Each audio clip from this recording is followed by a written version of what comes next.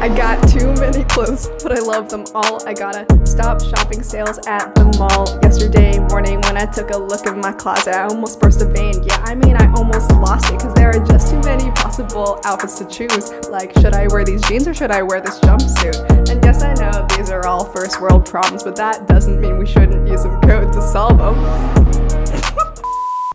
Hello, long time no see. Uh, I hope you're doing well. I'm Kelsey Makes Things, and today I'm going to use code to pick my outfits. Basically, I wrote this program that matches tops and bottoms and jackets and shoes, and this started off kind of as an experiment, but then I saw the outfits that I was choosing and I thought it was actually working pretty well. So yeah, wanted to share how I made this. So without further ado, let's dive in.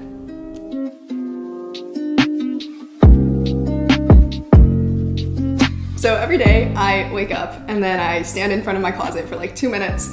And then after those two minutes, I have probably thought of an outfit and then I go put it on. And usually it's just like a normal mediocre outfit.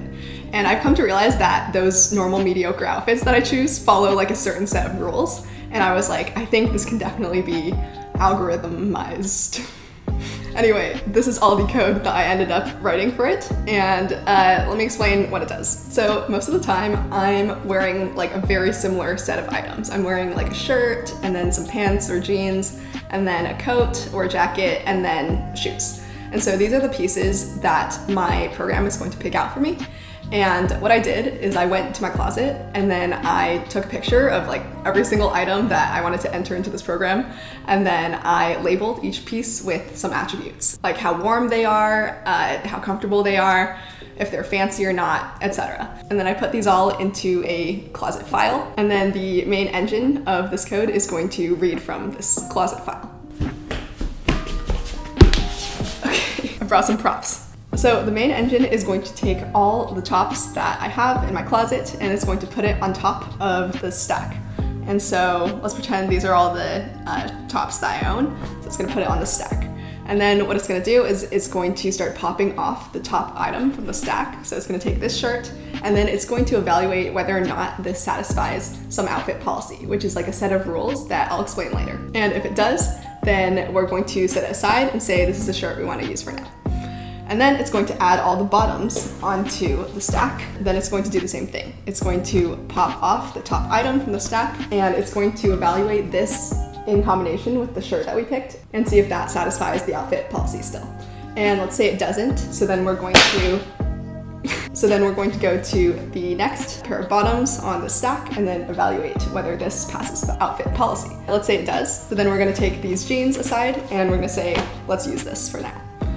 And then we're going to add all the jackets. Pop off the top jacket from the stack, and let's say this works with these two. So then we add the shoes, pop off the top shoe, and let's say in combination, they satisfy the outfit policy. And so then this will be the final outfit that the program gives you. And this is going to be what you wear for the day. So yeah, if you're familiar with computer science at all, you might actually recognize that as like iterative depth first search. Depth first search. That is so hard to say. And the funny thing is, I totally did not intend this at all when I was making this algorithm. I was just thinking like, how do I come up with outfits in my mind? And it was like this crazy cool moment when I realized that basically I look at it as a DFS problem and every node is like a clothing piece and I can backtrack until I find an outfit that like completes the path uh, or satisfies the outfit policy. It's pretty cool and um, I've been talking a lot about this outfit policy so let me explain what that is.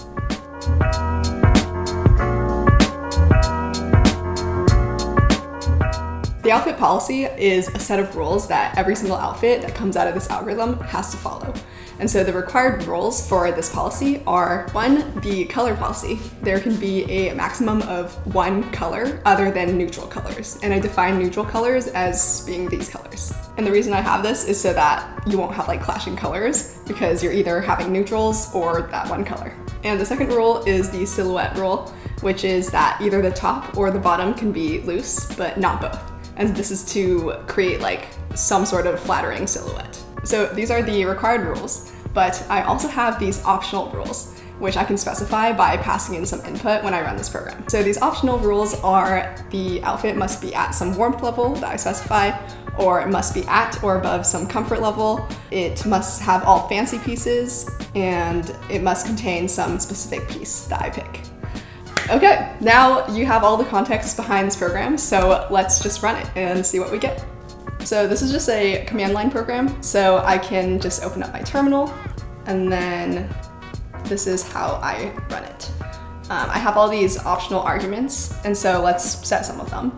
Today it's not too cold, so we'll say warmth level two, and then I'm down to wear something fancy. Yeah, why not? And I really want to wear these with some specific pants. So let's say my uh, Aritzia green pants, which I recently bought for way too much money. So cool, let's see what it comes up with. Okay, that's going to be my outfit. That's how this program works. And let me just put it on. BRB.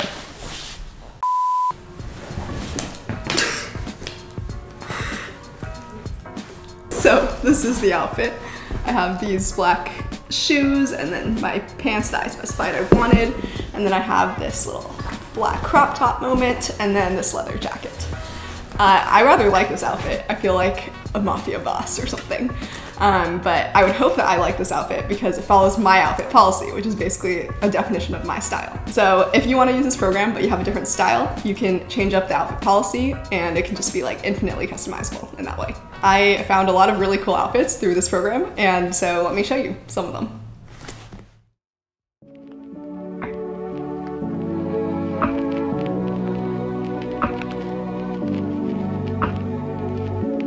You see here, kid? You gotta just go for it. Don't think about what comes after or what came before. You just gotta bend your knees, take a deep breath, and jump. And you might think, what if I fall? Well, what if you don't? What if you fly?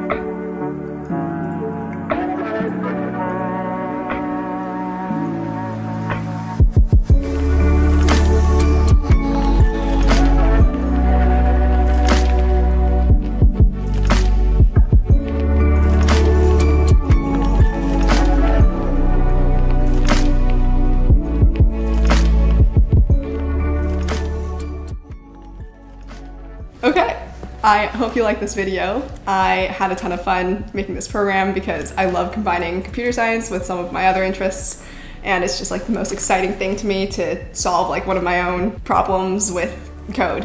And if you're interested, you can totally modify the code of this. Um, you can change the closet file to match your closet. You could change the outfit policy to match your personal style, like I kind of discussed before. Or you could even like make a UI so that you don't have to run this through the command line and you can like click buttons or something. I don't know, the possibilities are endless. So yeah, thanks for watching. I hope you have a great day and I will see you next time.